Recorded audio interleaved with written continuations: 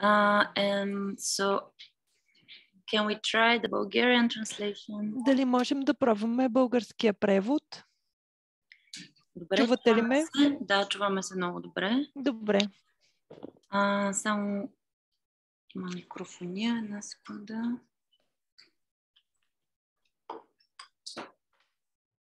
Как се показваха? Само енто искам да покажа. Окей. Окей, let's start. Добре, можем да започнем.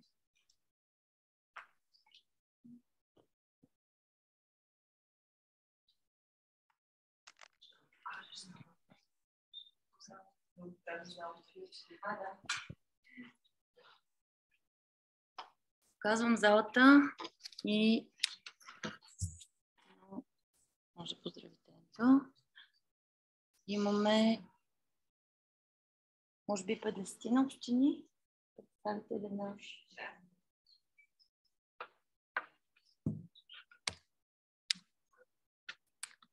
Добре. Може да започва. Ето.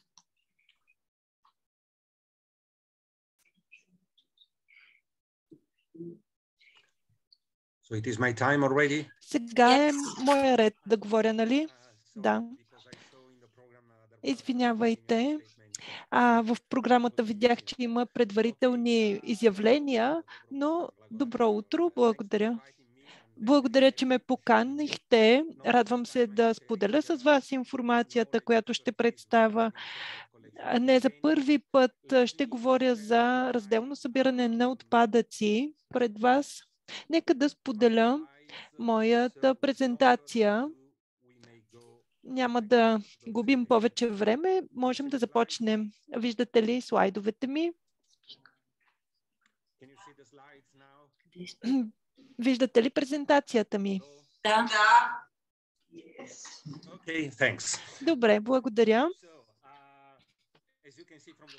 Както виждате от заглавието, има само 18 месеца за изпълнение на европейските изисквания за събиране на биоотпадъци. Така че ще представя най-добри начини за оптимизиране, проектиране, схеми за разделно събиране, за целите на оптимизиране на разходите на системата. Това се основава на моите най-добри знания, практики в тази а, система.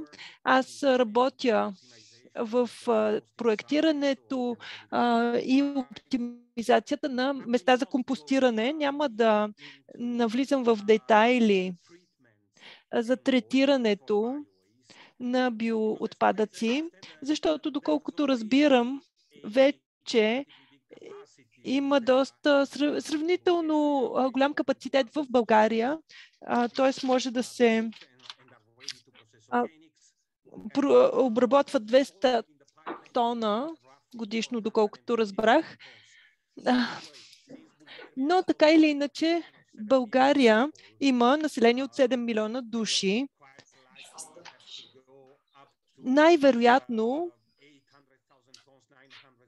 трябва да осигурите 800-900 тона годишно компостиране. Така че има на къде да се развивате. Ако искате, можем да говорим по-подробно за оценяването на различните видове компостиране и начина по който те си взаимодействат.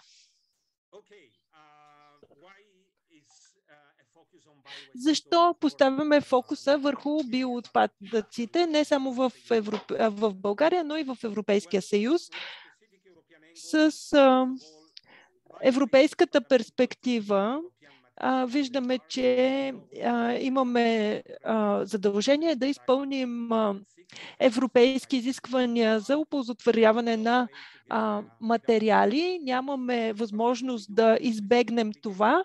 А, също така имаме определени изисквания за разделно събираме а, по директивата за за рамковата директива за отпадъците, член 22. В много държави вече има приложени такива системи и задължения. Също така се намираме, тази тема обхваща различни политики в околната среда. Това е една холистична тема, обхваща отпадъци, земеделие, ОСП, общата селскостопанска политика, която е на европейско ниво и а, насърчава а, неутралното а, за въглеродно земеделие. Също така темата е свързана с изменението на климата. Колкото по-малко е въглеродът в атмосферата, а, толкова повече успяваме да уведем изменението на климата. А това е графика, която упростено представя а, кръговата економика. Това е за начинаещи, така да се каже. Ако искате да запазите всички материали ресурси по най-добрия начин, то трябва да изберем кръговата економика,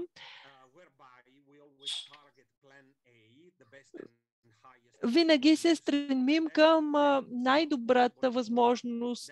Ако това не е постижимо, то разбира се, можем да имаме план Б и план С. но а, виждате как изтичат материалите, как губим материали и разбира се, това се отнася и а, за разделното събиране на биоотпадъци. Но преди това трябва да обърнем внимание на някои други аспекти, например програмите за оползотворяване на храни. Това е когато храната се използва за изхранване на хора, ако тя е подходяща, например грозни зеленчуци. Ако обаче не е подходяща, тя може да бъде подходяща за фураж на животни. И на трето място, ако и това не е възможно, то можем да разгледаме храната като,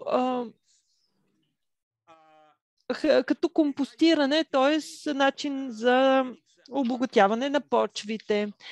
Органичните субстанции, органичните материали са много повече а, от управление на отпадъците, защото а, така се съхранява въглерод в почвата. А, тоест, а, така се намалява въздействието върху климата на въглерода. Може би не знаете, но почвата е вторият най-голям резервуар на въглерод на нашата планета и а, така, за да намалим въглеродния диоксид в атмосферата, можем да съхраняваме повече въглерод в почвата. Ще се върнем на тази тема по-късно, но повечето антропогенни, повечето антропогенен метан е е, се отделя при анаеробната ферментация и много голяма част от метана из, излиза в атмосферата и така се превръща в парников газ. А, така можем да се борим с опустиняването. А, което всъщност е заложено в Конвенцията на ОНЕ за борба с опустиняването. използването на органични торове за съхраняване на въглерод в почвата са друг начин за справяне с тези въпроси. Също така, поради тези причини Европейския съюз прие член 22 от рамковата директива за отпадъците. Както казах, много важно е да се намали антропогенния метан, който се дължи от части на изкопаеми горива, а, отчасти на замеделие и отпадъците представляват 20%.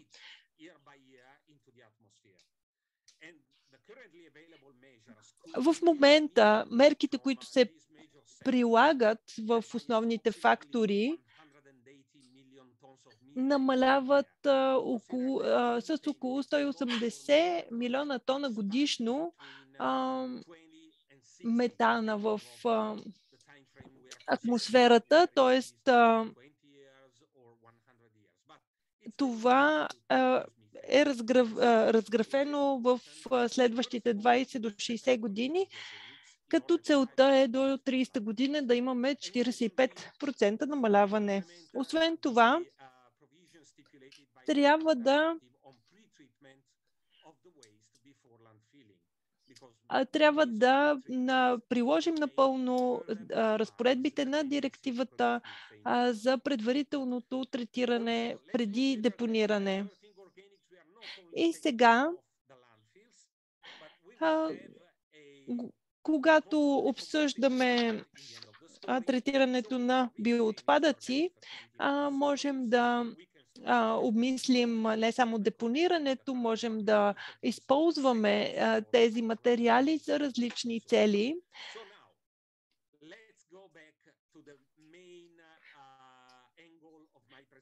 И основната, основната тема на моята презентация е разделното събиране на биоотпадъци. Защо е важно това а, събиране? Те са важни на две нива. Първо, количествен ъгъл, количествена перспектива. Те са наистина фундаментални за постигането на нашите по-високи цели за рециклиране. Също така, при анализа на състава на тези материали, типично за Балканите може да имаме 30, 40-50% битови твърди отпадъци. Много често знам, че официалната статистика подценява процента биоотпадъци в а, състава на отпадъците. Трябва да направим един истински анализ, трябва да а,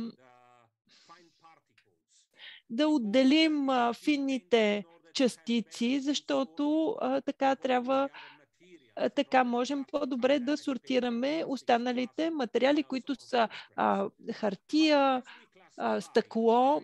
След като класифицираме тези видове отпадъци като различни отпадъци, трябва да помним, че 80% се, от биоотпадъците са хранителни остатъци всъщност, като а те могат да бъдат обхванати от отделна, от програма за разделно събиране и действителният процент в действителност е по-висок, отколкото този, който се отчита в статистиката. Също така има и а, друг аспект. Знаете, че органичните материали са, а, ферментират. След като а, приложим система за разделно събиране, събиране, то можем да намалим рязко остатъчните отпадъци. Защото така можем да имаме економическа оптимизация на системата. На второ място ще имаме и ефект за повишаване на разделянето на сухи рециклируеми материали. Така хората ще се стремят към по-добро разделно събиране на пластмаса, стъкло и други материали, за да се отърват от тях по-често, така да се каже. Това е това е графика за Салачия. Ще имаме отделна презентация за Салачия, Румъния а, с докладване на, за прилагането на схемата. Всъщност, след прилагането на разделното събиране на органични отпадъци, се повишава разделното събиране не само на биоотпадъци, но и на остатъчния отпадък. Имаме също така значителен, значително повишаване на дела на стъкло и пластмаса, така че за няколко месеца те успяват да повишат този процент, който е значителен.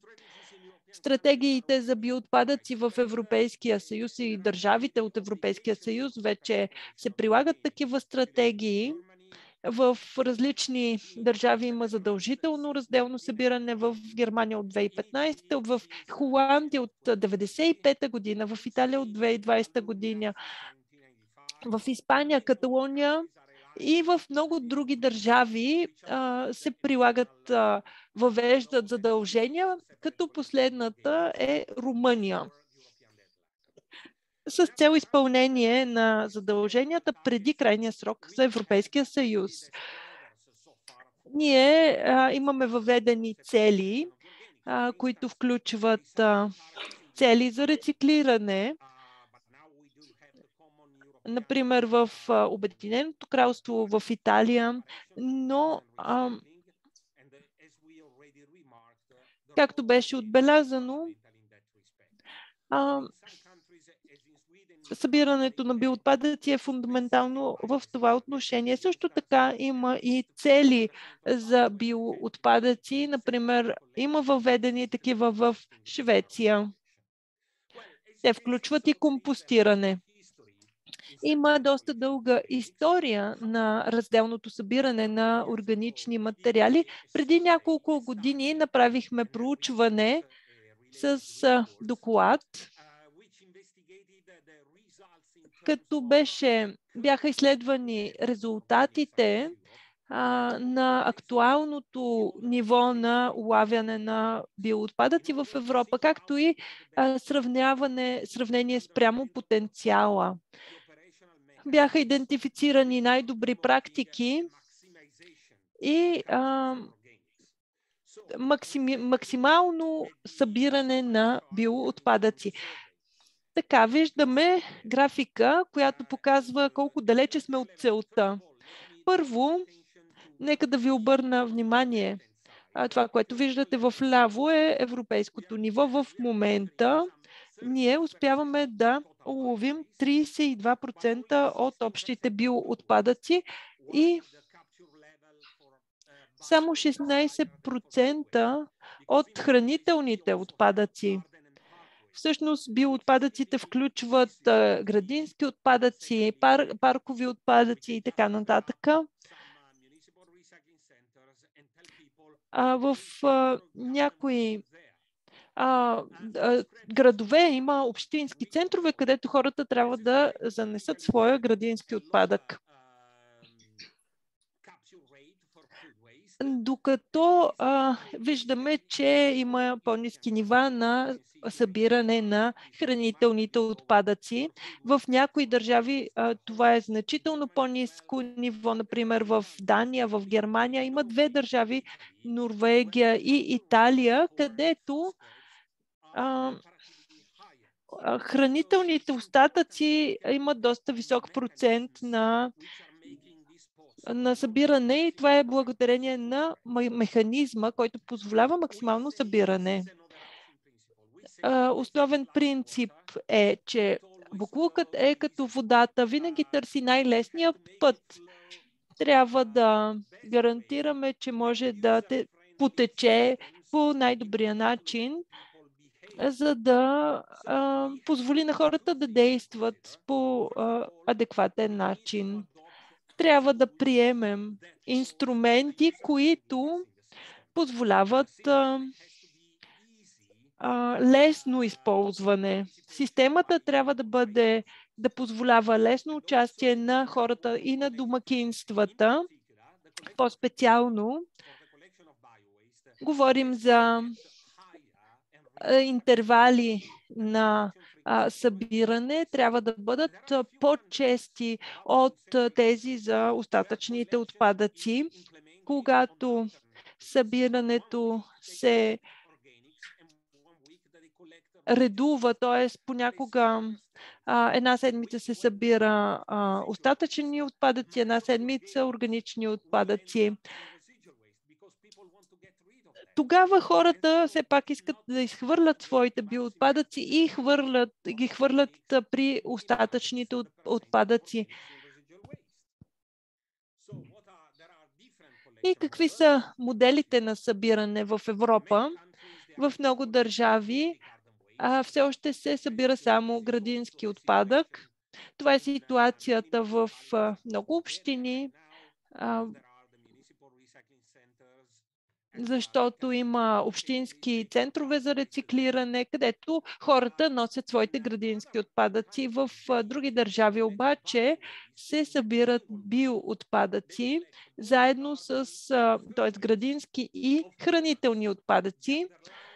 Разбира се, основната концепция тук е, че градинските и хранителните отпадъци ще бъдат изпратени в места за компостиране. И това може да доведе до оперативни неудобства. В някои държави има специално специална система за събиране на хранителни отпадъци. И а, тя е различна от тази за градинските отпадъци. Нека да видим какви са последствията от различните видове а, системи. Виждате а, схема от а, Германия, град Фрайбург, който се намира до границата с Франция. Имат сравнително висок а, висок процент на събираемост на градински отпадъци, който е около 68%. Имаме, имат а, също така а, кухненски отпадъци и градински отпадъци, но виждате голямата разлика между хранителни и градински. Хранителните отпадъци имат само 23%.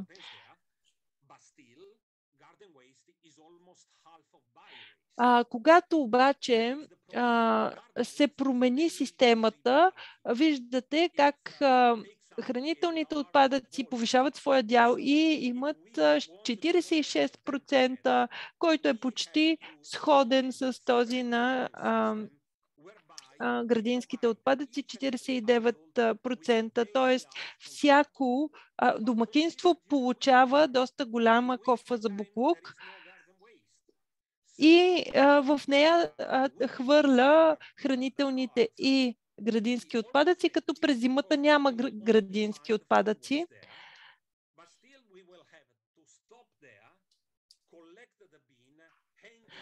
И, а, и въпреки, че липсват тези а, градински отпадъци пред зимата, все пак а, се изпраща камион, който събира а,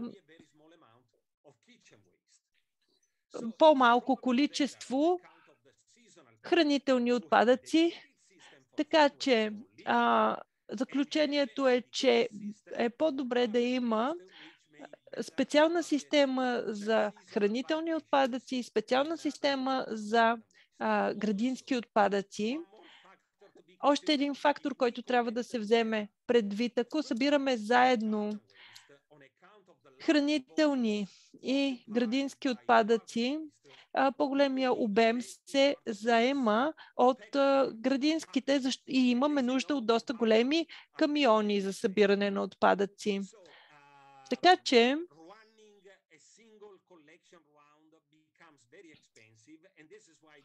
това е доста по-скъпа система. а, и а, намаляването на частотата на събиране на биоотпадъците всъщност е по-скъпа система. ако имате специално разделение между двата вида отпадъци, това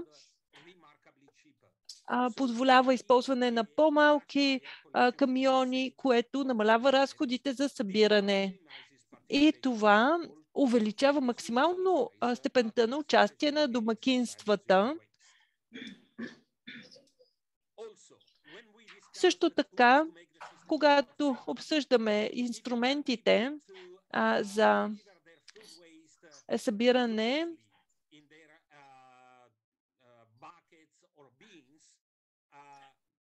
когато кажем на хората да събират а, събират а, а, биоотпадъци в а, кофите си а, и то а, те се събират на по-рядко, то това води до а, странични ефекти, мухи, миризми и така нататък. По-ефективно е да се използват а, храните, а, такива хартияни турби а, или компост, а, компостируеми а, плаз, а, найлонови турби, които да се завързват и това ще увеличи максимално участието на домакинствата. А като тези компостируеми а, турби могат да бъдат а, сложени като а, вътрешни а, турби за кофите за буклук или ако а, хората живеят в а, по-голяма сграда, с а, нали, по-голяма жилищна сграда, може да имат по-голям контейнер пред блока.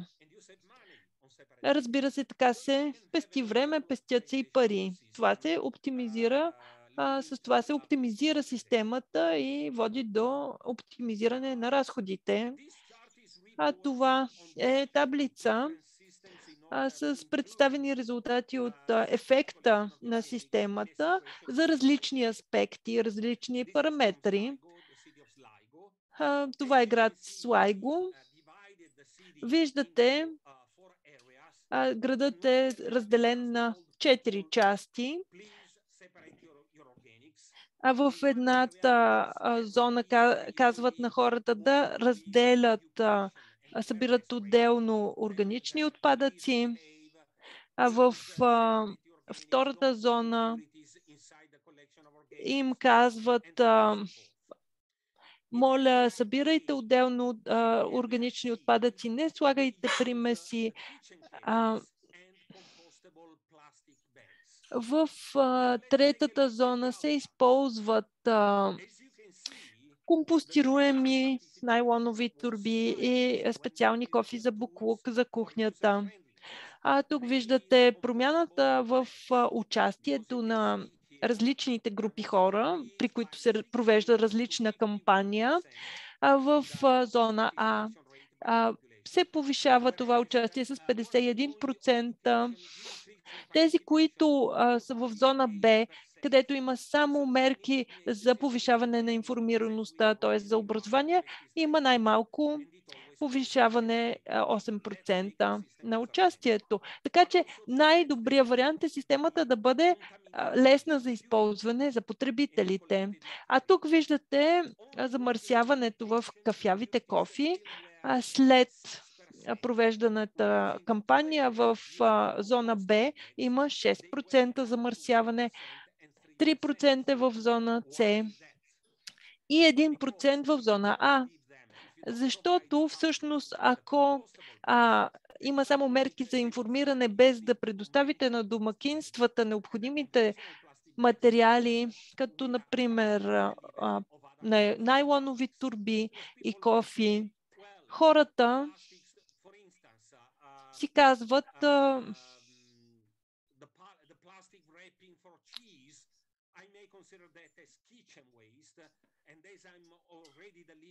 а, така или иначе, аз използвам найлонова турба. Не е нужно да бъде специално а, компостируема и разбира се, а, това води до замърсяване на разделното събиране. Сега а, споменахме член 22 от рамковата директива за отпадъците.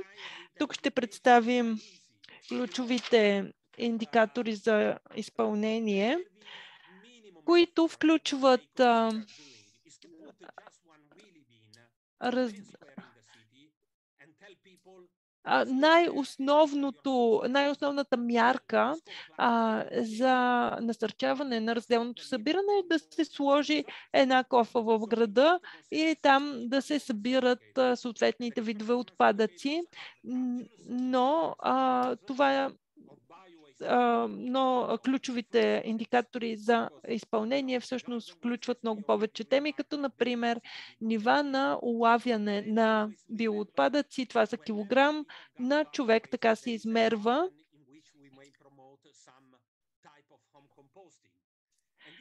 но всъщност това не успява да измери някои други аспекти, например, когато някой има градина и извършва домашно компостиране. То е разходно ефективно. Така че на второ място процент органични отпадъци в остатъчните отпадъци. Целта е да се мини, а, минимизира събира, събирането и а, събирането на остатъчни отпадъци. А това е таблица с а, а, информация от Каталуния. Каталуния е водещ регион в Южен, Южна Европа от 1995 година имат а, система за разделно събиране на биоотпадъци във всички общини над 5000 души население. А, няколко години по-късно това беше, а, раз, системата беше разширена и включва, включи всички общини. Техния модел, имат два модела и те съществуват едновременно. Единият е събиране от прага на дома и а, втория модел е а, контейнери, които се намират на пътя, като Нека да разгледаме резултатите от двете системи. Първо, събираемост. При а, събиране от прага на дома 112 кг биоотпадъци годишно а пък а, контейнерите, а, крайпътните контейнери събират 42 кг годишно. Нека да видим примесите. При а, събирането от прага на дума 4,7%, а при крайпътните контейнери около 13,5%. Това е важно, защото трябва да вземете предвид, че за да се приложи системата, трябва да има а, система за наблюдение, също така рафиниране, прецизиране и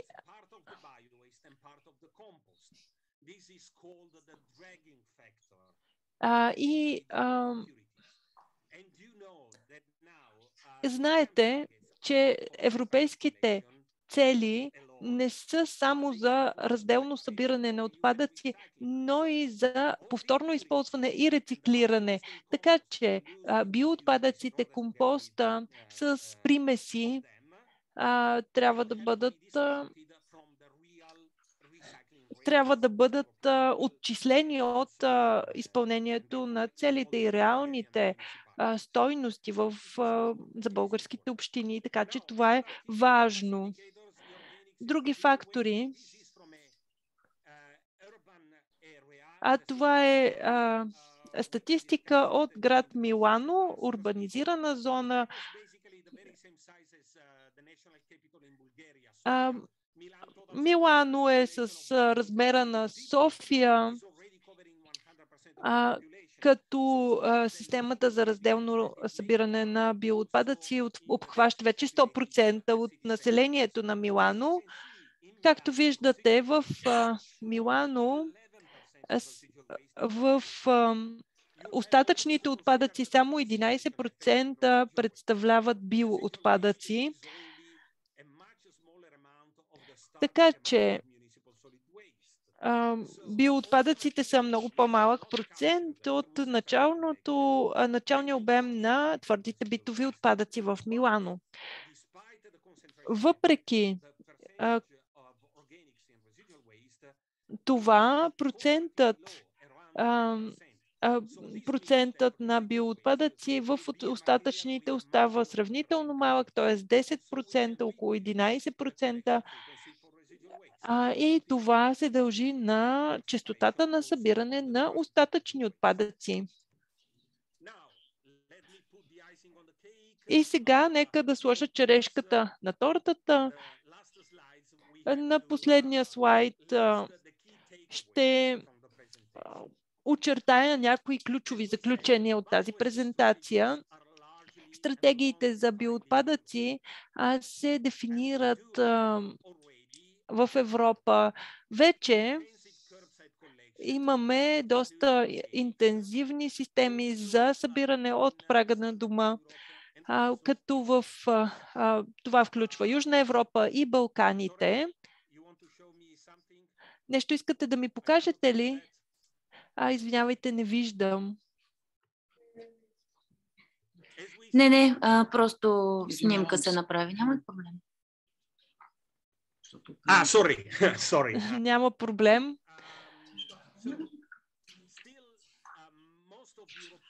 Повечето а, от а, хранителните отпадъци, особено в държави като България, все още се намират в смесените кофи за буклуки. Има голям неизползван потенциал. Тоест, може да се оптимизира системата и да се подобри реализирането на разделното събиране. Разбира се, това е голямо предизвикателство, и може да се разгледат грешките, които сме допуснали, сме допуснали ние и да ги избегнете в механизмите, които вие прилагате за оптимизиране.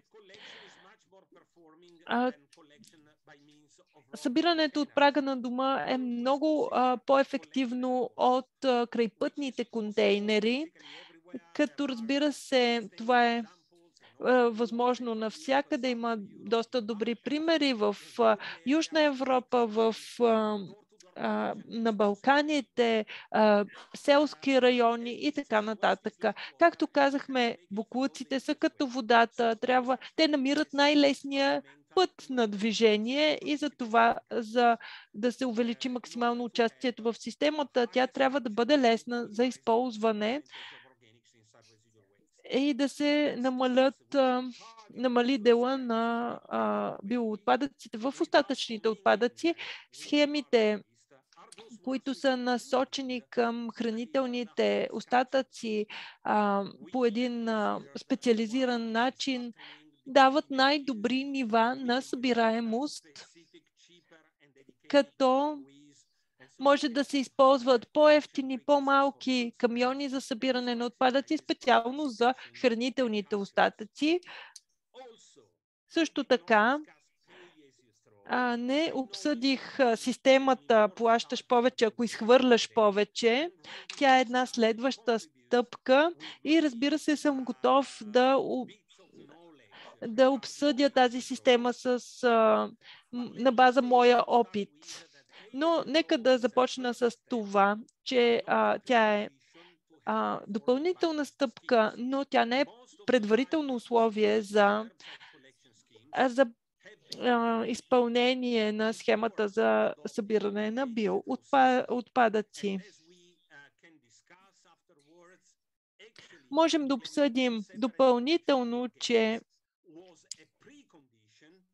а, всъщност а, отделната система, системата за разделно събиране на биоотпадъци всъщност е предпоставка за въвеждане на системата плащаш повече, ако изхвърляш повече. И а, в случая тази система се основава на а, брой извозвания. Това е а, от, мое, от мен. Благодаря ви за вниманието и съм на разположение за въпроси. Благодарим на Енцо. А, да. Въпросите в свободна форма, които имате в момента, ви молим да ги събирате на лищетата, главите си и да ги запишете, да ги запазим за след обяд, когато ще може по-структурирано да говори, за да дъстим време. Сега, може би в заключение, просто ще аз ще си позволя да иззема ролята малко на интервюиращ и ще задам един, два, три много малки въпроси, много кратки въпроса, за да приключим тази част, окей? Okay? А, като... А, да.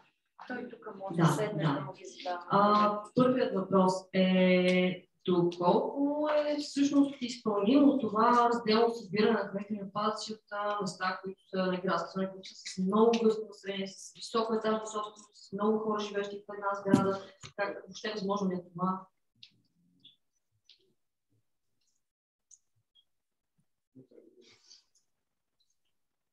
чуваме. Да, да, тя- Uh, that's a that's a great question. Много хубав въпрос.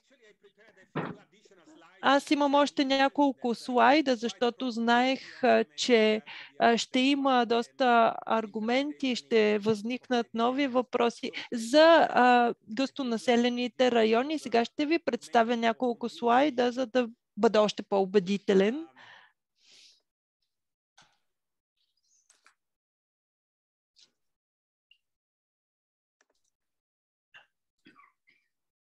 Can you see? Can you watch my screen? Виждате ли екрана ми? Да. Uh, А това е карта от Ломбардия. Тя е най-гъсто населената зона в Италия. Повече от 10 милиона жители. Това е региона, където се намира и град Милано. А, виждате този кръг и а, това е град Милано. А, кафявите зони е, са а, тези с а, хранителни, с събираемост на хранителни остатъци, като кафявите райони са най-гъсто населени, белите са планински райони, това са Алпите. Разбира се, в селските райони ние насърчаваме домашното компостиране. в а, тези случаи, където хората живеят в а, къщи. Милано е с население 1,4 милиона души, а пък в а, област Милано има около 6 милиона души. Дали ни е отнело много време? Не. Не може да се а, въведе за една нощ, но всъщност ние успяхме да въведем системата за 18 месеца. Както казах, населението е 1,4 милиона души. През ноември 2012 година въведохме първия етап юни а, 2013, а, след това ноември 2013 и юли 2014. Тоест 18 месеца, а, за да обхванем целия град. Както виждате, първия квадрант върви от покрайнините към центъра, защото искахме да покажем, че че това е реализуемо и в гъстонаселените райони. Какви са резултатите в Милано? Виждате ключовите цифри. а, 1,35 милион на 800 хиляди души пътуват ежедневно а, до Милано за работа, т.е. те обядват в Милано и се връщат а, извън Милано в дома си. Имаме 11 милиона туристи годишно. Много от тях са а, искат да видят катедралата или пък а, последната вечеря, картина на Леонардо. Имахме и делегация от София преди няколко години имам добри спомени от тях. А, в момента повече от 130 кг хранителни остатъци се събират 87%, а, така, 70% са от домакинствата, 13% а, са в остатъчните отпадъци и а, 20% от търговските вериги. В един, ако може да реализираме системата в голям град като Милано, то може да я реализираме навсякъде. А за да направим системата лесна за използване, въведохме тези кофи за буклук, за кухненски отпадъци с вътрешен плик, който е компостируем. Имаме и по-голяма кофа, която е за жилищни сгради, по-високи сгради, блокове. А пък за отделните домакинства, къщи, имаме малки кофи за буклук. Само 10% живеят в такива а, кофи а, и там а, имаме такива кофи с дръжки. Защо? Защото тя е подходяща за е, самостоятелни сем- семейства, а също така може да се събира ръчно вместо механично. А, това спестява разходите за събиране и виждаме как се оптимизира системата за различните видове домакинства. Може да се извърши и може да се приложи навсякъде. А това е един последен слайд, който искам да споделя с вас. Това са етническите групи, които живеят в Милано. Имаме над 40 000 филипинци, 35 000 египтяни, 27 000 китайци, хора от Перу, Румъния, Еквадор, Украина и така нататък. Разбира се, ще имаме още повече, в момента имаме повече украинци, отколкото през 2016 година, заради войната в Украина. Но основното послание е, че хората от различни а, етнически групи участват е, еднакво в системата за разделно събиране, въведена в Милано, което означава, че е въпрос на операция, на организиране на контекста. И бъдете уверени, че когато решите да приложите системата, да оптимизирате вашата система за разделно събиране, хората ще участват в нея.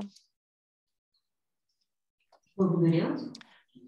Още един много маничък въпрос, тъй като беше споменато в а, а, презентацията, видях поне на един от слайдовете имаше нещо споменато за месо, риба и други такива животински изделия. Всъщност това, тези, този вид отпадък желателно ли е да се събира отделно, заедно с хранителните или не? Изготвена. И, и, и също така същия въпрос и за готвените храни. Yeah, from the rest of, uh, of Да, всъщност а, това е част от а, хранителните остатъци, отпадъци, но а, имаше едно недоразбиране на европейските директиви, защото а, се смята, че те са много рестриктивни за отделното събиране на отпадъци, хранителни отпадъци и някои а, държави интерпретираха ситуацията така, че трябва да се събира отделно месо и риба. А, животинските а, вторични продукти всъщност законодателство 1069, а, ши- 69 от 2009 година.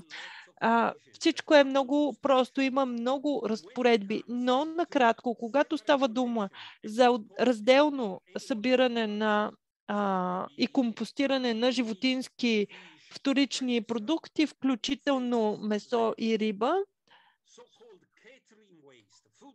така наречените а, хранителни а, остатъци, които не идват от международно, а, ме- международно, международния превоз, т.е. не са внос от Китай. from international transportation is category 3 а, е категория 3, т.е. нискорискови материали. Така че е напълно компостируем а, и а, това е според а, националните разпоредби. Тоест, разглеждат се различни комбинации от време и температура. В Италия е 55 градуса, 3 дена компостиране. В България има други национални разпоредби за компостиране и така или иначе това е биогенната топлина, която се а, генерира от микробите по време на а, тази трансформация на хранителните отпадъци е напълно безплатна, т.е. ние може да генерираме биотоплина от компостируема маса и разбира се, а, накратко, хранителните отпадъци а, или а, месо, отпадъците от месо и риба могат да се събират заедно с останалите хранителни отпадъци. Много благодаря за този насърчителен отговор. Един наистина съвсем последен въпрос, то две в едно, тъй като времето напредна. А, беше споменато съвсем в началото в въведението, че разделното събиране на хранителни на биоотпадъци би довело до намаляване на разходите, въобще оптимизирането на разходите на общините. И също така и връзката нали, с таксата на база количество такса на смет. А, дали това е така всъщност? Какъв е ефекта върху разходите на системата, когато започне едно разделно събиране на биоотпадъци?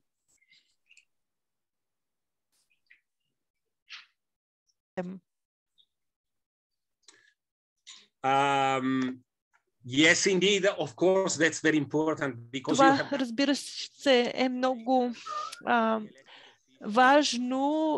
В залата присъстват хора, които взимат решения на общинско ниво и от една страна трябва да бъдат изпълнени европейските разпоредби. Това може да бъде скъпо и така нататък. Има различни съображения. В рамките на моята презентация споменах много пъти, че има възможности за оптимизиране на разходите. Ние разглеждаме а, от една страна а, намаляване на, а, на, на чистотата на събиране на остатъчни отпадъци. А, Италия е много дълга страна, географски. В а, Северна Италия имаме, а, започваме с три пъти на седмица събиране на смесени отпадъци когато се въведе разделното събиране на хранителни отпадъци, този брой беше сведен до два пъти седмично.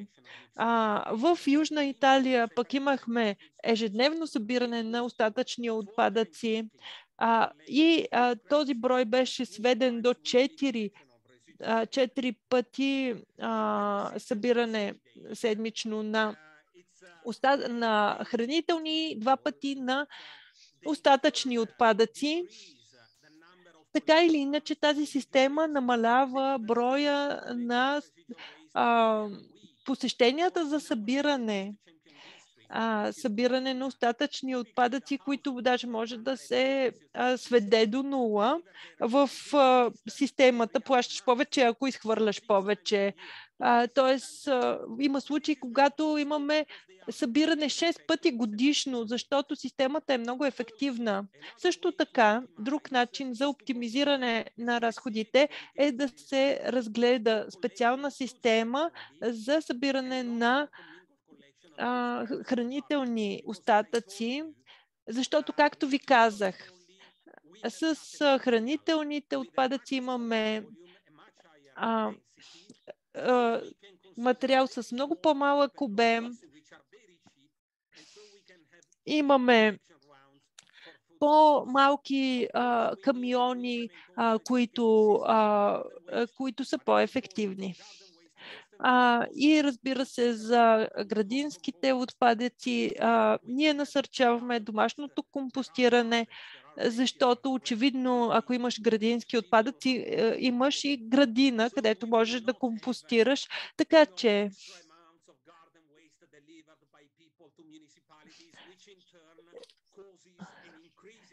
когато хората а, доставят своя градински отпадък на общините, а, това а, можем да кажем на домакинствата, ако нямате време за домашно компостиране, може да занесете отпадъците в общинските центрове или да разгледате някои сезонни а, схеми за събиране на а, на, на градински отпадъци, но така или иначе няма да бъде два пъти седмично, както е за хранителните отпадъци, защото градинските отпадъци ферментират и така.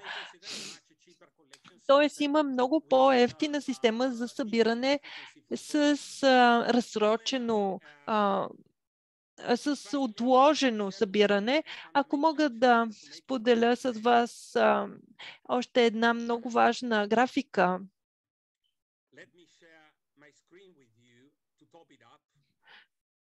Сега ще споделя с вас екрана си.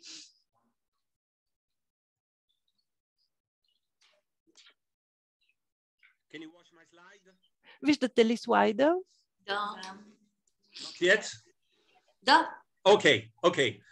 So, as you can see, uh, these are the national statistics. Това са а, националните статистически данни за средните такси на домакинство в, в Италия, а, като а, в някои а, региони са 250, най-високите са в кампания 430, не, а, а, на второ място Сицилия 380,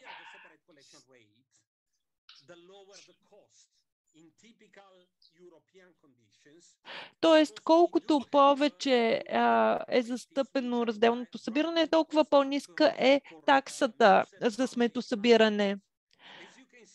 Защото има по-низки разходи за а, третиране на смесени отпадъци. Виждате най-низко в тази, грани, в тази а, графика е Кунтарина 185% и виждате, че там а, разделното събиране е над 85%. При вас ситуацията може да е малко по-различна. Нека да разгледаме тази графика, която е много фундаментална за вас. Това е докладване на а, тенденциите на разходите в рамките на едно десетилетие като синята линия е разходите за живот и инфлацията. За 10, 10 години нараства с 22%. Това включва разходи за горива, за труд и се очаква те да повлияят върху разходите на, за управление на отпадъците. В червено виждаме разходите за тарифите, за, за сметосъбиране и таксите за сметосъбиране. Те са резултати от законодателството в сферата на околната среда. Знаете, че има такива наложени от Европейския съд, от Европейския съюз, така че а, със сигурност разходите за изгаряне ще бъдат много по-високи, отколкото са в, днес, защото има все по-строги изисквания. Също така, трябва да а, имате предвид, че всички мерки, наложени от Европейския съюз а, по а, фондовете а, за а, а, по различните фондове всъщност няма да покриват а, а, съоръженията за изгаряне. Така че, така че смесеният а, отпадък ще става все по-скъп. А в зелено виждате тенденцията в а, а, третирането на а, третирането на отпадъци а, при системата за разделно събиране, която се основава на събиране от прага на дома.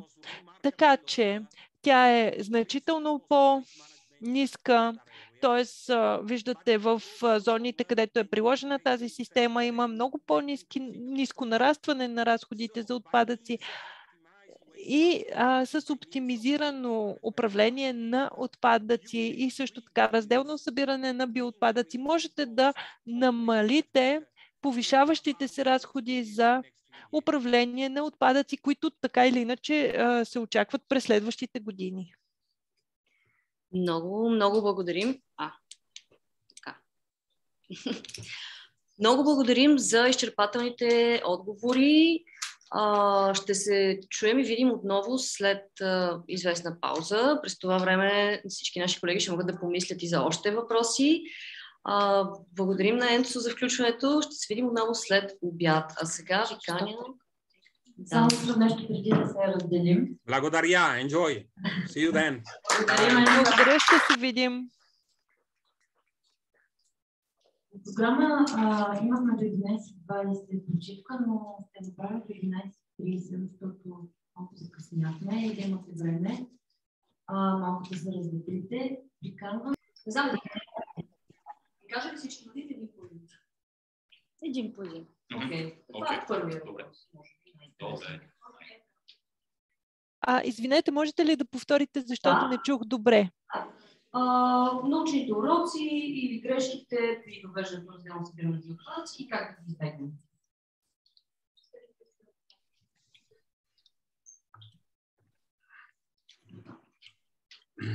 Yeah.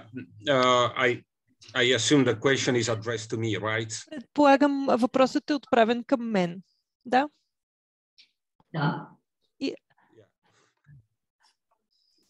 Yeah. Of course. Uh, uh, mistakes. Разбира се, има много грешки, които могат да се допуснат.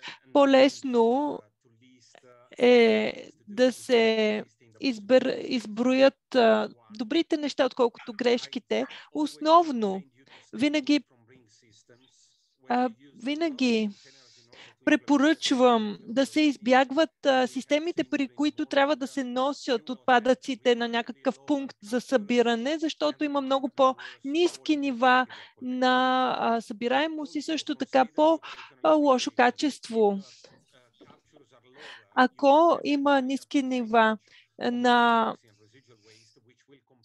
а, на събираемост, то има и доста по-високи, висока степен на остатъчен отпадък, така че, разбира се, това няма да осигури оптимизация на разходите. Така че, ако трябва да изброя най-важните грешки, които се повтарят, то наистина трябва да отбележа системата за носене на отпадъци на пункт за събиране. Да, да.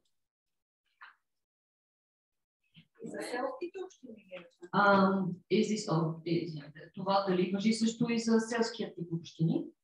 С по-далечени Uh, in principle, yes. По принцип, да, по същия начин е, но разбира се, не можете да приложите система с, а, с събиране от прага на вратата в а, а, много рядко населени общини, т.е. когато къщите са на 2 км една от друга, но когато има възможност, а, би трябвало да се приеме система а, с а, стимули за компостиране, а, когато има много ниска гъстота на населението,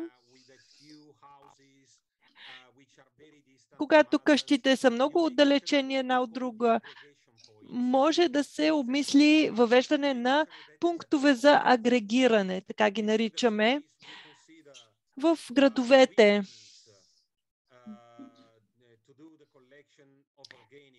а се а, осигуряват превозни средства за а, събиране на отпадъците от прага на, врат, от прага на дома, докато в тези рядко населени общности може да има такива коли, които да а, събират от а, пункта за агрегиране и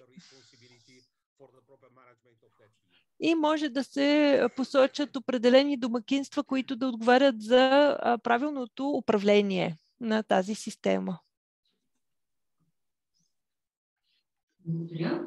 Следващия въпрос е а, как да избегнем така. Yes, please.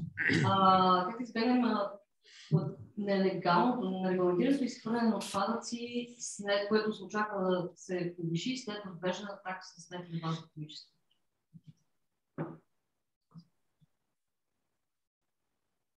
Yeah, that's great. This is a very good question. Много добър въпрос. Well, you know, we, we start having a very comprehensive overview of the А, Започваме да имаме една много по-обширна представа за системата. Имаме около 8000 общини в Италия, от, от тях 150 вече са въвели система а, плащаш повече, ако изхвърляш повече. И разбира се,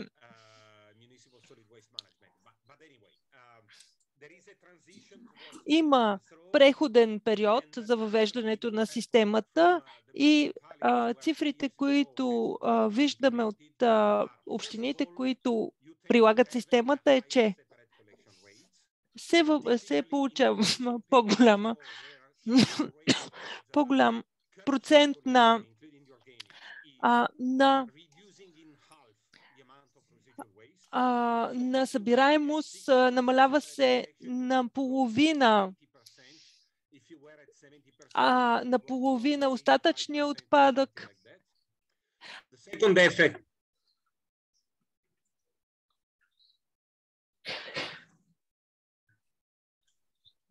Fine, fine, and sorry for that. Извинявайте, просто изпуснах цифрите. А, така, основната идея е, че когато се въвежда системата плащаш повече, ако изхвърляш повече, тя върви с събиране от прага на вратата. И това е едно предусловие за ефективна система, плащаш повече, ако изхвърляш повече, не е обратното. И след въвеждането на тази система се намалява наполовина обема на остатъчния от, отпадък. И, а, например, тези общини, при тези общини а, намаляването от 60% на 80%, като цялото, цялостните разходи за управление средно са по-низки, отколкото а, разходите в общините, които, които са въвели, плащаш повече, ако изхвърляш повече, като в Италия се наблюдава цялостно намаляване на отпадъците с тези системи, т.е. повече отпадъци отиват за а, рециклиране, отколкото за изгаряне и депониране. Както беше посочено и сутринта, депонирането и, и, и горенето ще бъде много а, скъпо в бъдеще. И на трето място нямаме доказателства за увеличаване на незаконното а, незаконните отпадъци, ако системата е направена правилно. Сега ще ви покажа няколко слайда, за да ви помогна да разберете системата и как работи тя. А, не мога да споделя екрана си, за съжаление. Ако може да ми позволите да ми дадете права за споделяне на екрана.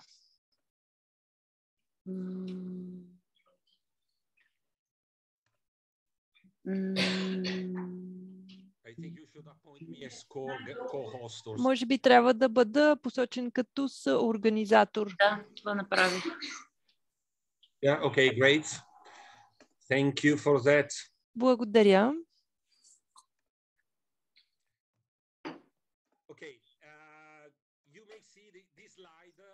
uh, Виждате този слайд. а, Той е за Парма една делегация от България посети Парма преди три години, като населението там е 200 хиляди, нещо като град Бургас. В момента нивото на разделно събиране е 80%. Преди това беше 60%. Тоест, голямото предимство дойде с въвеждането на система събиране от прага на дома. В Парма прилагат напълно събиране от а, дома от 2013 година насам. Няколко години по-късно, през 2015 година, въведоха и системата плащаш повече, ако изхвърляш повече. Нека да видим резултатите. Остатъчните отпадъци от 250 кг годишно падат на 110, т.е. спад от 56% се бележи, а пък отпадъците, които не са включени, не са загубени някъде, не са изхвърлени в природата. Напротив, вижда се по-висока събираемост на хартия, пластмаса, метал и други материали. Да, видим как е проектирана системата. Това е една от многото зони с нулев отпадък, които въвеждат системата. Плащаш повече, ако изхвърляш повече. Има фиксирана такса и променлива такса. Като променливата има за цел да а, санкционира лошо поведение, да поощри добро поведение на гражданите. Може да бъдете най-добър в рециклирането в света. Не искате да имате никакви остатъчни отпадъци, но въпреки това трябва да а, хвърлите някакви остатъчни отпадъци и това е част от това е част от таксата, затова е справедливо да има фиксирана такса, която е 60% от общата сума, но възнаграждението трябва да бъде толкова голямо, че да насърчи добро поведение, но също така достатъчно малко, за да предотврати лошо поведение. Ако а, наградата е няколко евро годишно, хората просто ще смятат, че няма смисъл да си дават труда, а, защото а, отнема няколко секунди на ден а, и това, разбира се, повишава. Ако обаче а, наградата е много добра, много голяма, то това може да провокира лошо поведение, защото, например, ако през а, уикенда отидете в провинцията и а, можете там да си изхвърлите буклука. Така че а, променливата част от таксата трябва да бъде адекватна, като тази променлива част в контарина е 40% от общата сума, но в Парма е само 20% от общата такса за смето събиране, като това е ефективно за насърчаване на доброто поведение на хората и максимално увеличаване на рециклирането. Може ли само да попитам, тъй като каза, че там е ефективно от врата на врата в Парма, има ли големи жилищни комплекси, които са с много високи сгради, многофамилни сгради? Щом е 200 хиляди, би трябвало да има и как в тези комплекси Did you hear the question? от врата на Yes. Okay.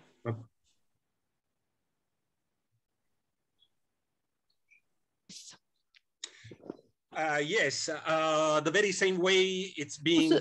Правим го по същия начин, както в Милано, когато имаме блокове, там всъщност, както ви разказах сутринта, в, в случая с големи, високи блокове има кофи за буклук пред самия блок. Така че се минимизира времето за обслужване на всяко семейство по-отделно. Тоест, не можем да имаме 50 кофи за буклук пред всяк, всеки апартамент или пред блока, така че има а, голям а, кофа за буклук, която се съхранява пред а, блока и а, всяко семейство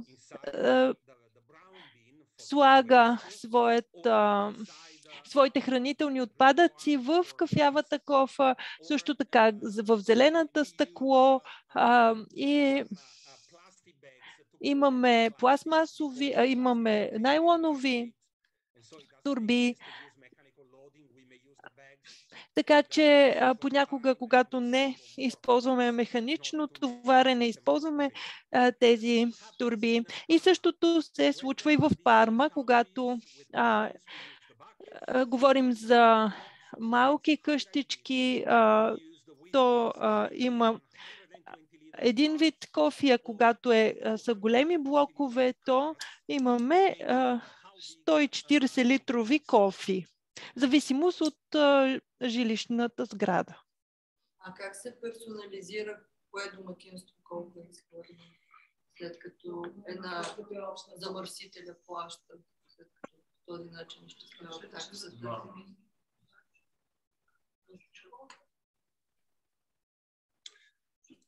Uh, a pay as you throw is a totally different story. А Uh, всъщност а, Pay as you throw е нещо различно.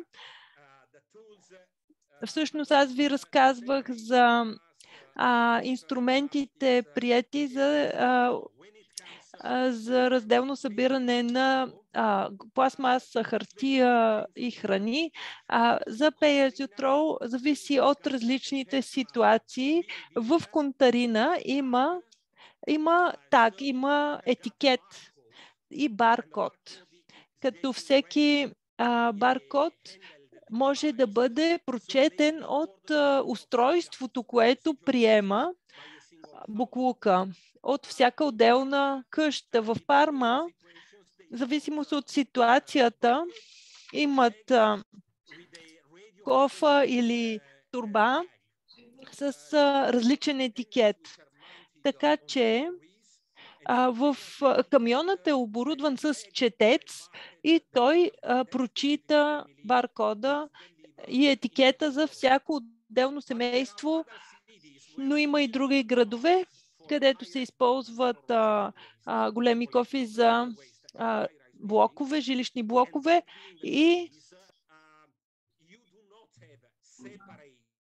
И там, например, няма отделно, отделна отчетност за всеки апартамент в сградата, а пък цялата сграда а, плаща общо, обща сума. И така има а, натиск между отделните съседи, а, които упражняват натиск един на друг а, да а, се държат по-добре и да имат по-отговорно поведение. Така че сградата плаща а, тази такса заедно с а, такса електроенергия и така нататък. И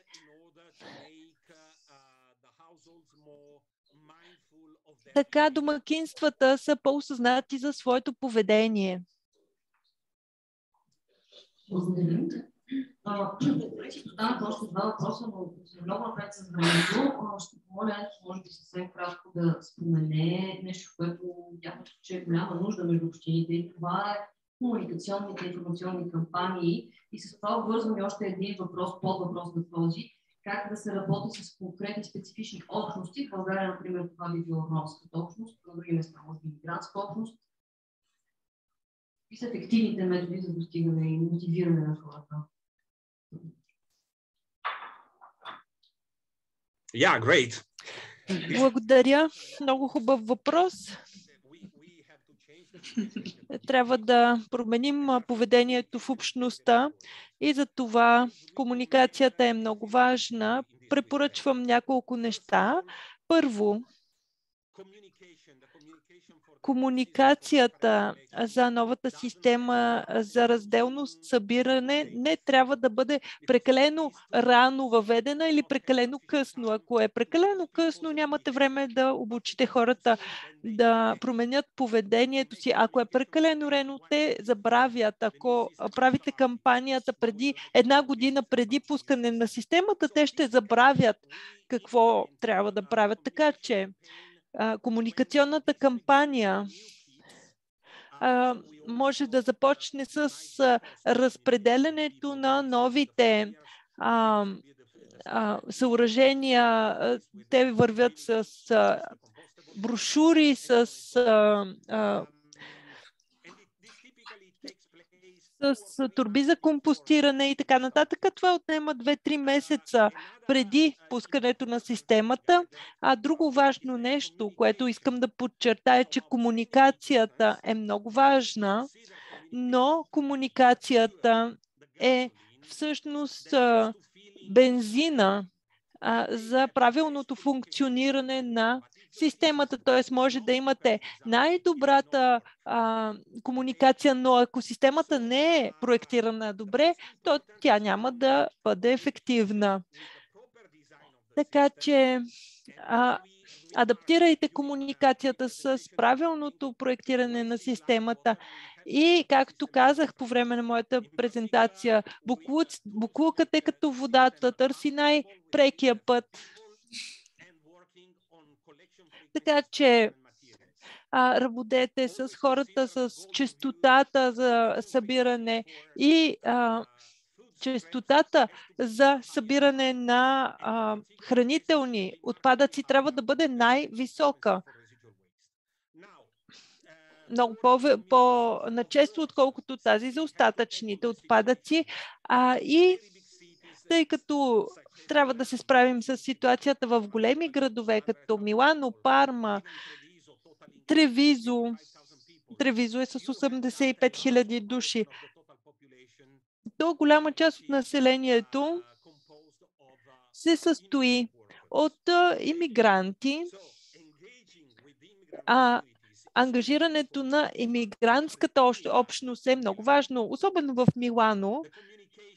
Комуникацията, брошурите, инструкциите за новата система бяха преведени на 10 различни езика, но това се случи само в Милано. Ако отидете в по-малък град, то не е толкова често срещано да а, се превеждат инструкциите на различни езици в по-малките общини. Живеят преобладаващо а, население от една етническа група, така че а, няма такова разнообразие на езици традиции и, и така нататък. Когато има а, голям процент иммигранти, а, то е добре да има и превод на съответните езици. А, можете да се свържете и с а, техните лидери, културни лидери, неформални лидери, но така или иначе е добре те да се почувстват признати и да се обърнете към тях с конкретна програма, с подходящи инструкции. И така те се чувстват част от общността, част от а, а, общината и са ангажирани в общите усилия за разделно събиране на отпадъци. Това е важно. И наистина последно, съвсем накратко. Въпросът беше бизнесите, частните бизнеси, доколко имат интереси, кои биха били те, които биха имали интерес към събраните отделно верижни материали.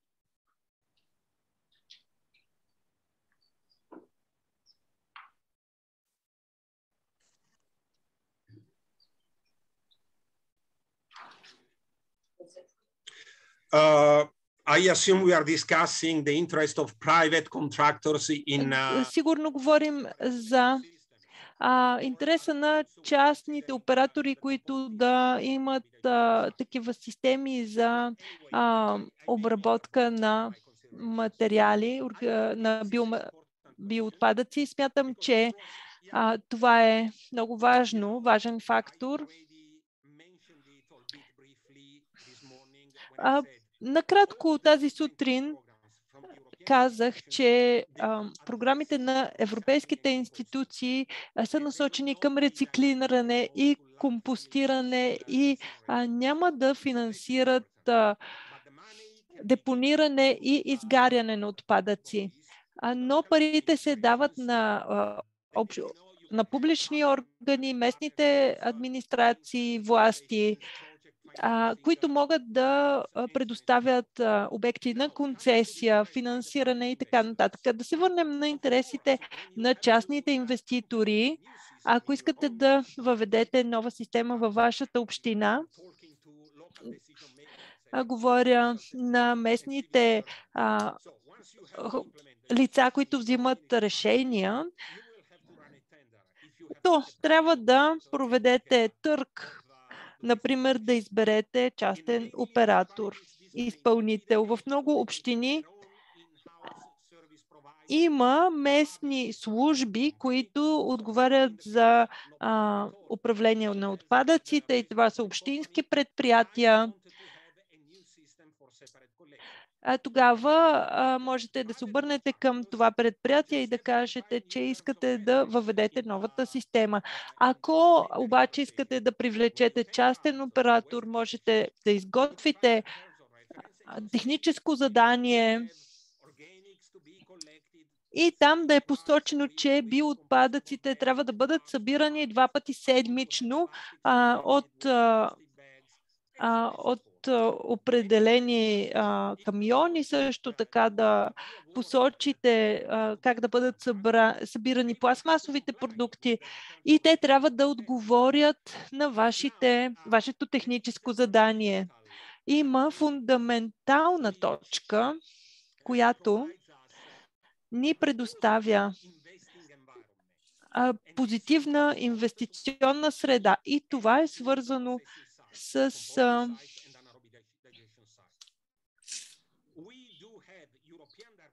с това, че има европейски директиви, а, в които са заложени пътна карта за управление на отпадъците на ниво ЕС, когато разбира се, частните инвеститори трябва да получат заем от банка, за да купят нови камиони и така нататък. Когато те кандидатстват за кредитиране от банка, банката знае, че тези инвестиции. А, са надежни.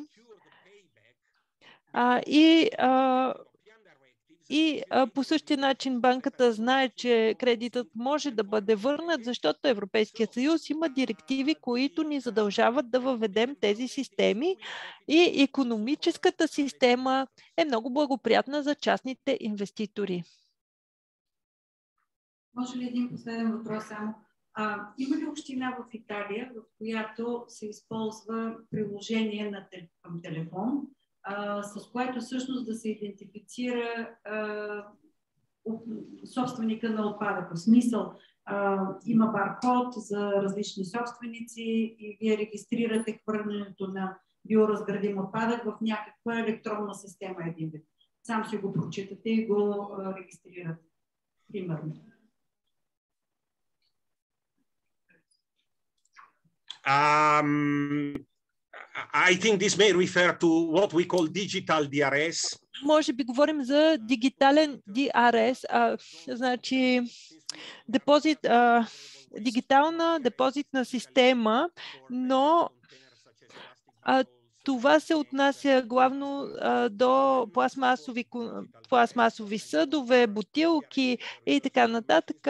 А, тази система се прилага за автомати за връщане на амбалаж а, и е нещо по-различно от това, което обсъждаме сега.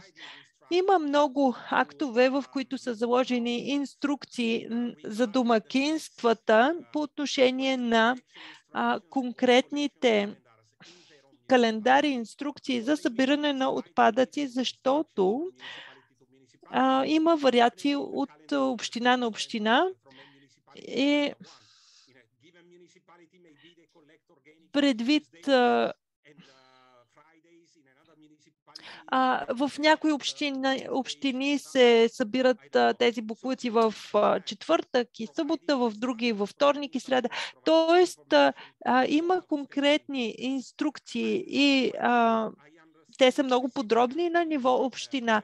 Не знам, не съм сигурност не съм сигурен, че разбирам напълно въпроса и съм а, любопитен а, какво точно се има предвид, защото казвате, че а, а, всъщност с смартфон може да се прочете а, как, кой точно изхвърля определен вид отпадък. Можете ли да ми разкажете повече за а, тази технология? Нямаме време, но Да. добре, когато има време. Золта ни, следващия лектор ни чака. Ам, Thank you very much, Enzo. Uh, I say it in English so that it's a direct contact. I think we all appreciated your intervention. Maybe you can say without interpretation goodbye to people so people hear your voice.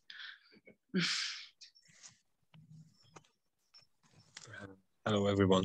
My name is Zoltan Pastai. Здравейте, казвам се Золтан Пастай. Чувате ли ме? Yes. Okay. Uh, it was a pleasure to um to За мен беше удоволствие да слушам презентацията на Енцо и отговорите, uh, които той даде на въпросите. uh, Наистина мога да потвърдя това, което Енцо каза за разделното събиране на биоотпадъци. Бих искал да разкажа малко за нашия опит в една подобна източноевропейска страна, като България. Аз представлявам компания, която е ангажирана в управление на отпадъци в Румъния. Ние сме държава членка на Европейския съюз и а, прилагаме законодателството на Европейския съюз, а, като а, се опит, а, прилагаме разделно събиране не само на опаковки, но също така на биоотпадъци. Преди 3-4 години започнахме с пилотен проект и сега можем да кажем, че нашата компания а, обработва и а, обслужва 400 хиляди души, което значи 100 хиляди домакинства.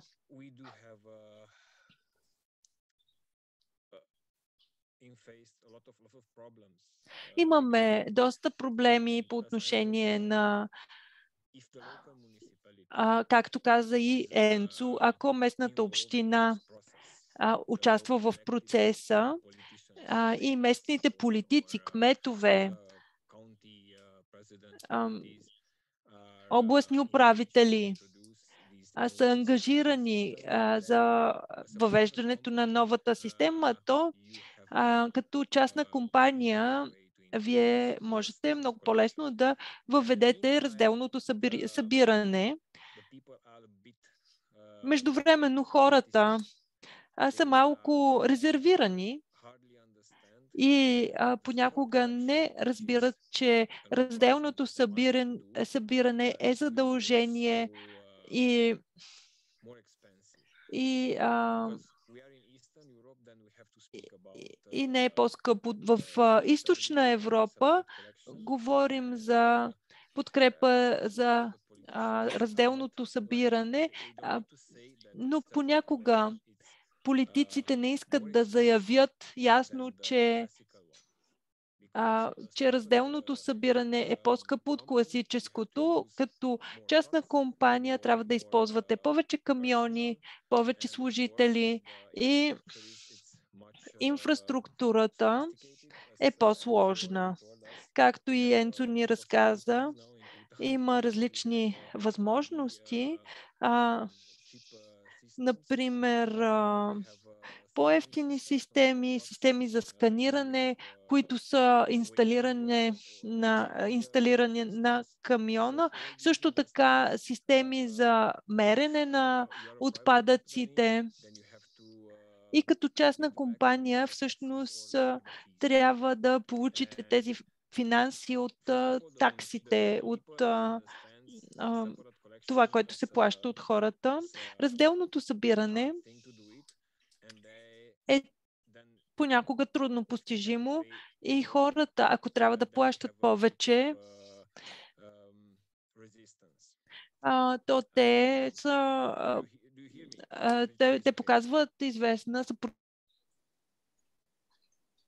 Okay, uh, I'm, uh, if you want to uh, interrupt me and... Ако искате да ме прекъснете, ако искате да зададете въпроси, ако по някаква тема не съм особено ясен, можете да ме спрете и да попитате каквото желаете.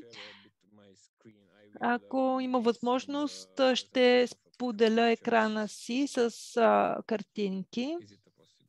Може ли да да ми дадете има вече.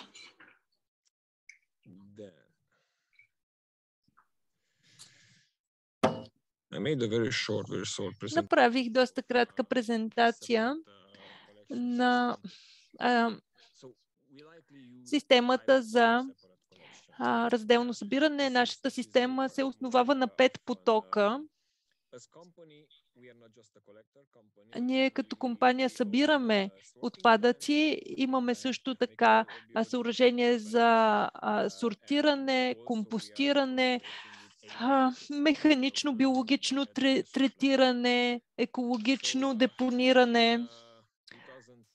През 2010 година, всъщност през 2004 година започнахме с депо, за отпадъци. След това разширихме нашата дейност с компостиране, като на първо започнахме да компостираме градински отпадъци, трева, но не и, не и хранителни отпадъци. Това е нещо различно. През 2017 година започнахме с събирането на а, биоотпадъци, като виждате, че имаме различни кофи. Както и Енцо каза, много важно е да, да има добра инфраструктура и чрез тази инфраструктура може да се комуникира и да се проведе една добра информационна кампания за гражданите. Много интересно е, че домакинствата бяха много очудени, че ще имат 40 литрови а, литрови кофи вместо 240 литрови големи а, контейнери. И всички тези видове а, контейнери а, не можеха да съхранят целият обем а, генерирани отпадъци. А, и какво се случи? Ако има а, система, която е за сепариране само с един поток, то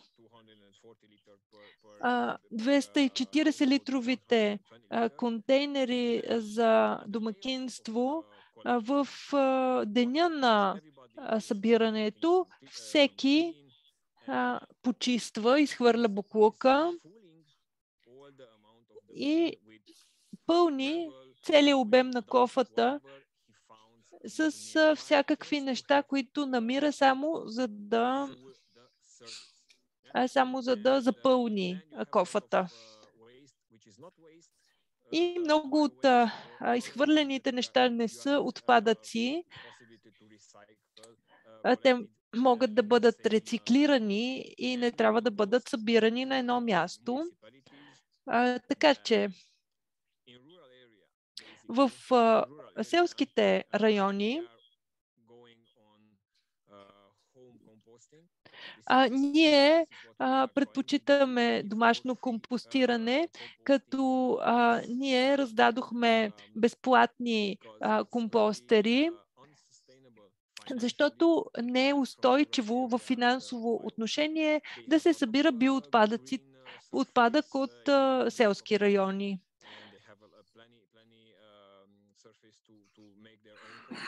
Те имат а, достатъчно пространство в задния двор и могат да имат собствени компостери.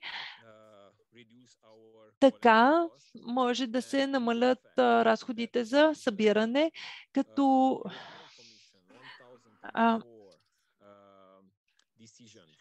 Решението на Европейската комисия 1004 от 2019 година по отношение на изчисляването на генерирания биоотпадък, който е с домашно компостиране, ние така въвеждаме домашно компостиране и а, според доказателства на нашата агенция за а, опазване на околната среда, а,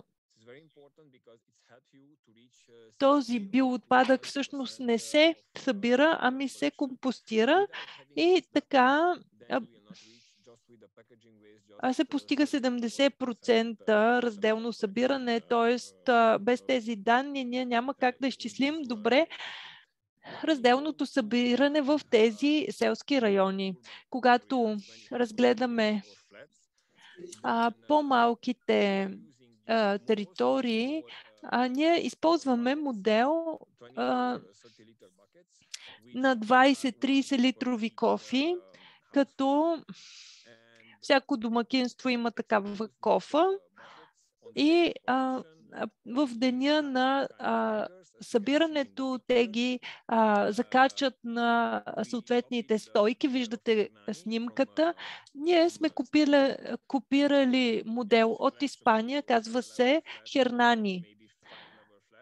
А, това а, може да се приложи добре за пететажни сгради и а, така може и да се въведе системата плащаш повече, ако изхвърляш повече, защото всеки може да заплати за обема а, буклук, който изхвърля.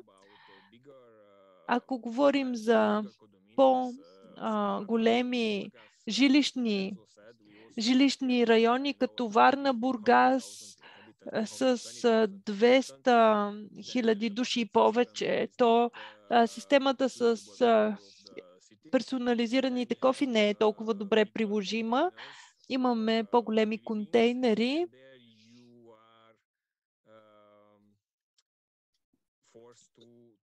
И тогава има доста по-строг контрол на кофите. Ако няма такъв контрол, то има проблем. Както и Енцо каза, проектирането на системата е ключово. Когато проектирате системата, трябва да, да изчислите колко жители са обслужвани от един пункт за събиране и така да да въведете система с предплатени а, пликове или пък а, да се разпредели кой а, коя кофа използва, така че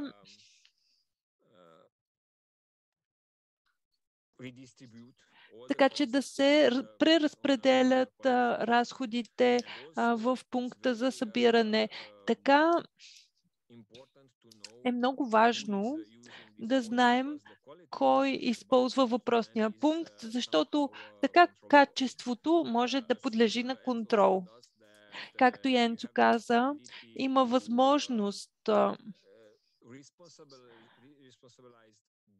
за отговорно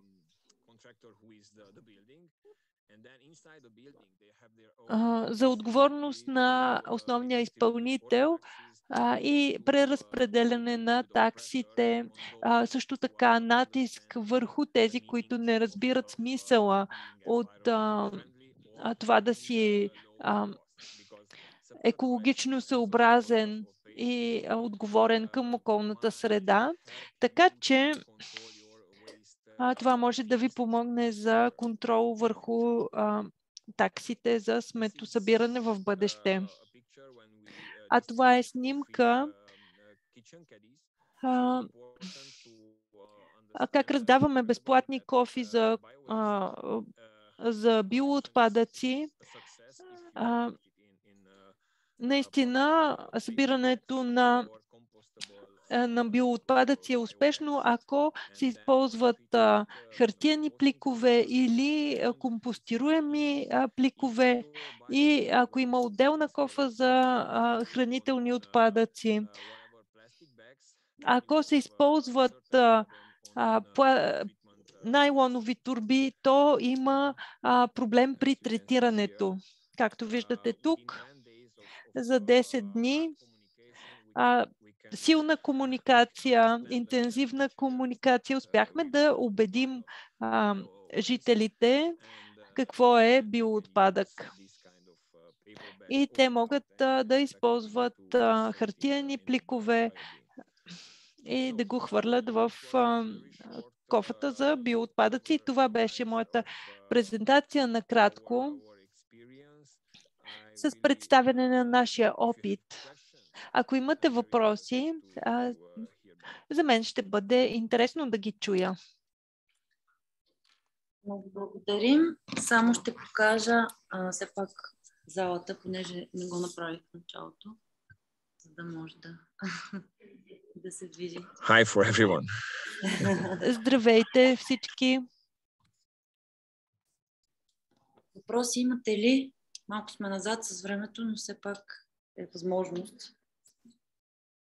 Всъщност, въведена ли е системата Румъния? Дали, дали е въведена? Дали е въведена системата замърсителя плаща? Да. И от кога? И от кога?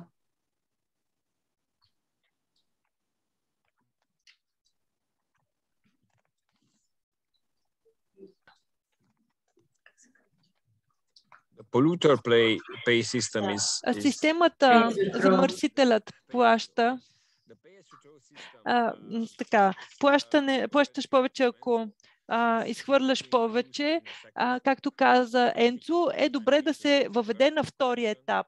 Първо да се въведе система събиране от прага на дома, всяко семейство да може да има а, отделно събиране, отговорност към съответния а, отпадък а, и а, да се постигнат по-високи нива на разделно събиране и след това чак да се въведе а, тази система Pay as you throw. Ние въведохме а, системата Pay as you throw, а, като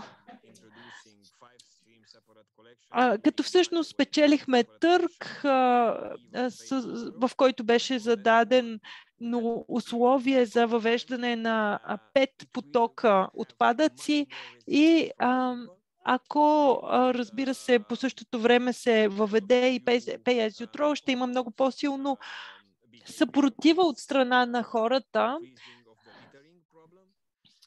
Това би довело до повишаване на отпадъците, на замърсяването. Така че местните власти и местните екологични организации, полицията трябва да бъдат готови, когато започнете с системата Pay в източна Европа, то ще има по-високи такси. 3, 4, 5 а, камиона, които идват за по-малък обем отпадък, ще видите, че ще има 60% а, от отпадъци Тоест намалява се обема отпадъци до 60% в- спрямо предходните години. И а, така се а, хората избягват да изхвърлят, например, а, неща, които биха могли да използват. От друга страна, разходите се повишават заради а, по-големия брой а, камиони. Наистина, замърсяването е проблем.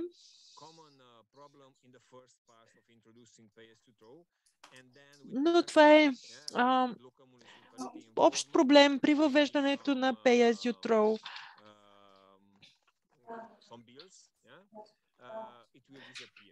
Но след известно време а, този проблем изчезва.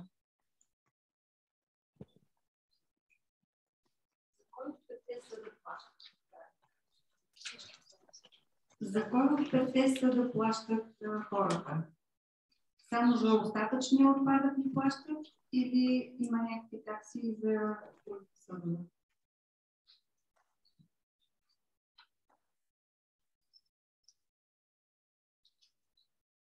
It's a very good question. Много А, добър въпрос. Благодаря.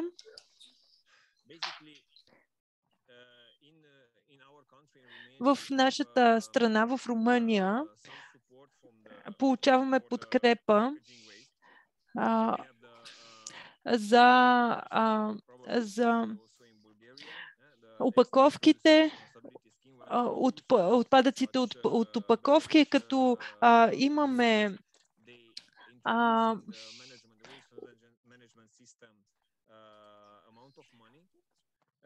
производителите на опаковки плащат такса за опаковките като отпадъци, като а,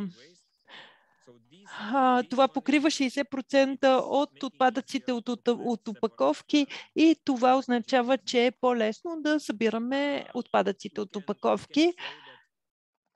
Но можем да кажем, че може да се въведе а, система за такси с 3-4 потока. Ние говорим за 5 потока, обаче ние инвестираме в нашите камиони, т.е. един камион може да събира два отделни потока отпадъци,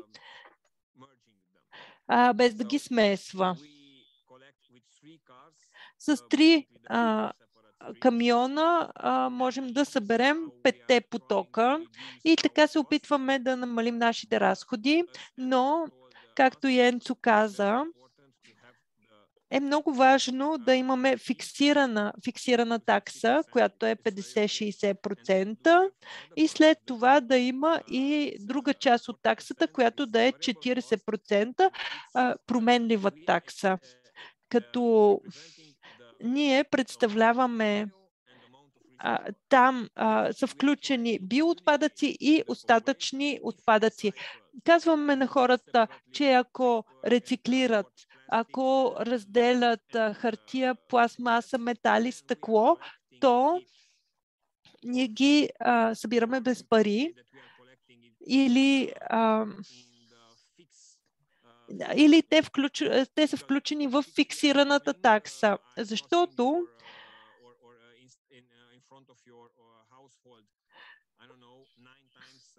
защото, а, например, ние отиваме до дадено домакинство 9 пъти месечно и ако има а, остатъчни отпадъци и биоотпадъци, които са а, сложени пред дома, то ние ще ги измерим и,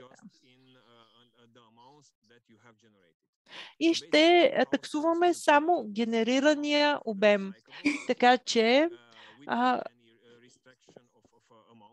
в а, категорията, която подлежи на рециклиране, няма ограничения, т.е. могат да изхвърлят колкото искат пластмаса, стъкло и а, метал, а пък а, разликата в това, което заплащат домакинствата, идва от това, което не подлежи на рециклиране.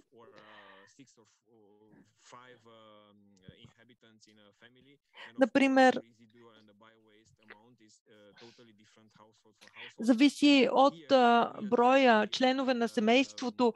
А, едно семейство с пет а, а, членове а, генерира различен обем отпадъци от а, по-малко домакинство. Всичко това е дигитализирано.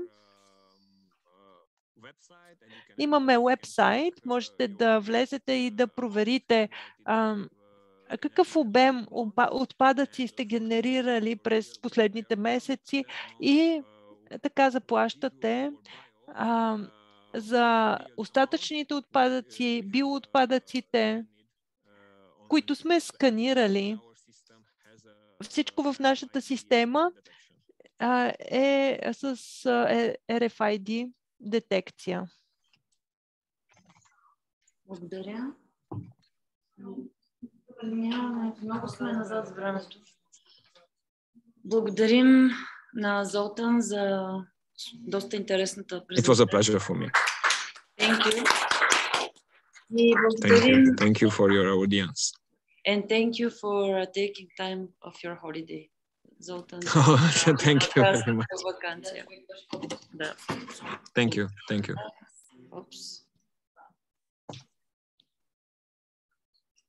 Опс. Добре.